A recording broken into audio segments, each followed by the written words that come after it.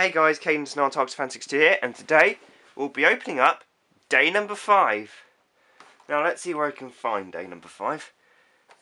Ah, there it is. And we get a present. A bright red present, that is.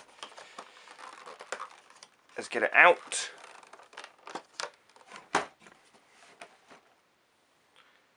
And let's take a look at it.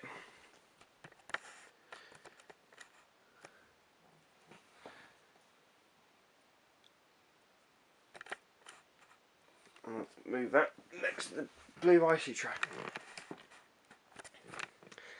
Thanks for watching, and I'll see you guys for day number six tomorrow.